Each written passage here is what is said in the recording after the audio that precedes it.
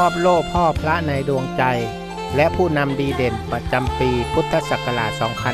2560 ไม่ว่าจะเป็นผู้นำศาสนา ภิกษุณี แม่ชีดารานักแสดง และบุคคลตัวอย่างอีกมากมาย ณห้องประชุมใหญ่ชั้น2อาคารสโมสร ศูนย์สถาบันวิชาการ TOT เมื่อวันเสาร์ที่ 16 ธันวาคมที่ผ่านมา โดยมีท่านชัดชัยพรมเลิศปลัดกระทรวงมหาดไทย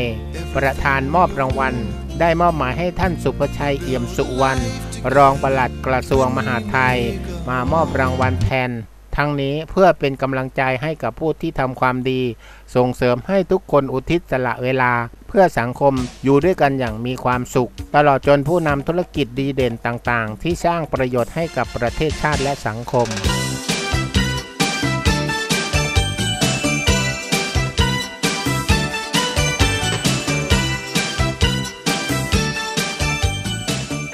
รางวัลผู้นำศาสดาโลก สาขาผู้ทำคุณประโยชน์ ด้านศาสนาประจำปีพุทธศักราช 2560 ประธานมอบรางวัล พระวัสกุเวมหินทะวังสะ มหานายกเถระประธานสงฆ์อามรปุระนิกาย จากประเทศศรีลังกา อาทิเช่น มอสแวนด็อกเตอร์ ยองดำ พระรัตนลงกร ธรรมโลดรองอธิบดีวัดโพชัย จังหวัดหนองคาย พระราชรัตนาลงกร ธรรมโรดรองอธิการบดีวัดโพชัย จังหวัดหนองคาย พระราชรัตนกวียวัย วัดมหาธาตุจังหวัดยะโสธร พระเทพกิตติมุนีอำเภอเมืองจังหวัดหนองคาย พระศรีสิทธิวิเทศ วัดพุทธาราม ประเทศฮ่องกงพระวิเทศปุญญาพรเฮาสิริ เจ้าอาวาสวัดพุทธารามจากสวีเดน